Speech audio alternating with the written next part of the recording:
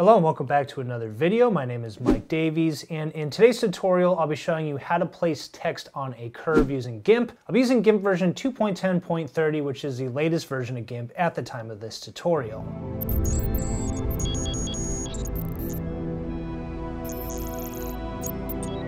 Before I get into that, guys, don't forget to check out my website at daviesmediadesign.com. You can enroll in my GIMP 2.10 masterclass from beginner to pro photo editing on Udemy.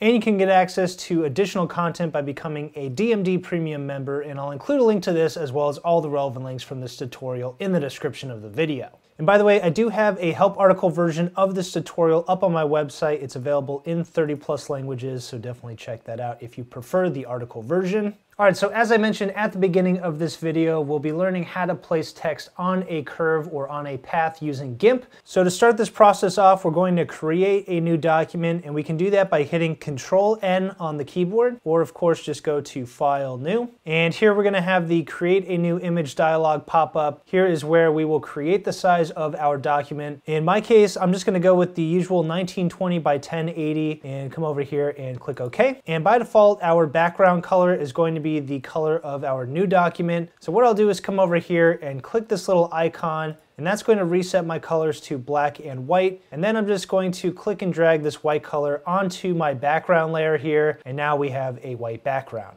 So the next step is to add our actual text to our composition. So to do that, I'll come over here and grab my text tool. I know ahead of time I want the size of this font to be 150, so I'll type that there. And I'm going to come over here and click on my composition and with the caps lock key on, I'm going to type add text along a path. And my font is set up as Montserrat Bold, which is a free font. I do have an entire tutorial dedicated to how to download and install free fonts for GIMP. I'll link that to this video, but I'll hit Control A and I can always come over here to the Fonts tab and scroll through the fonts. And if I wanted to change a font, just click on that font and the text will update there. I am going to stick with the Montserrat Bold. And next I'm going to align the text to the canvas here. So we're going to grab the alignment tool from the first tool group. You're going to click and hold that tool group and come over here and choose alignment. You can also use the Q shortcut key for that. We're going to set this to align relative to and choose image.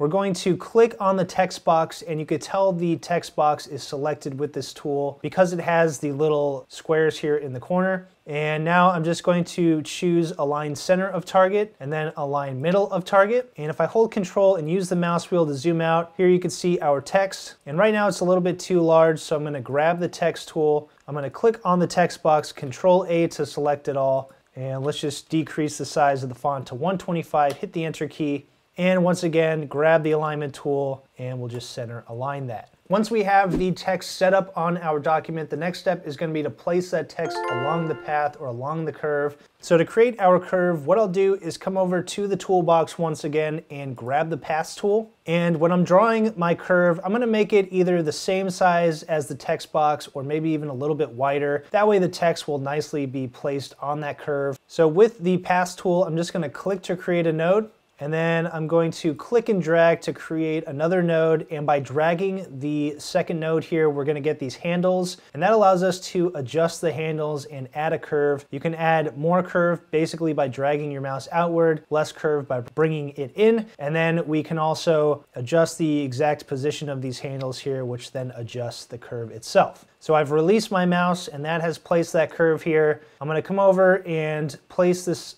last node here just on the outside of my text box. So click and drag to do that and release. You can always click and drag a handle after you've released to separately edit that handle. And if you hold the shift key, it'll edit both handles there. Release the shift key just one.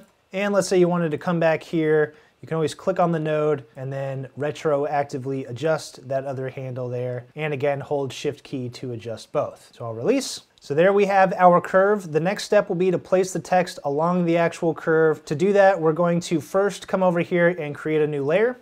And I'll name this curved, and let me turn the caps lock key off there. Name this curved text.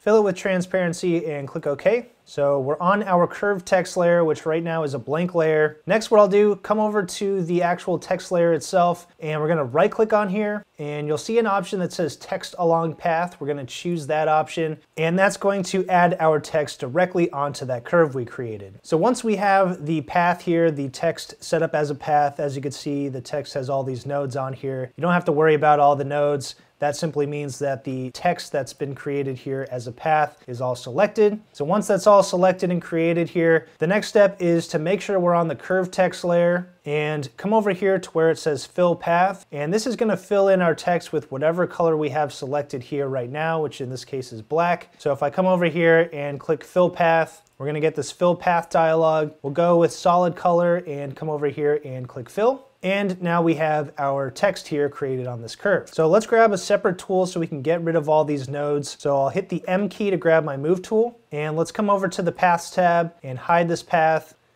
Come back to the layers panel here and we're still on the curve text. So right now the issue, if we wanted to align this, for example, let me just click and drag this, you'll see the size of the layer here is the size of the entire composition. So that makes it very hard to align this. Let me hit Control Z to back up. So on the curved text layer, I'm gonna go over to Layer, Crop to Content, and that's gonna crop the layer size down to the size of the curved text. And now what I can do is come over to the Move Tool group, grab the Alignment tool, click on that layer, and with this set to relative to image, we're just going to center and middle align this. And finally, we're going to hide the original text layer. And there we have text along a curve or also known as text along a path. All right, so that's it for this tutorial. Hopefully you liked it. If you did, don't forget to like this video, subscribe to my channel, and click the bell icon to be notified each time I have a brand new tutorial. You can check out any of the links to my resources in the description of the video. But thanks for watching, and I'll see you next time.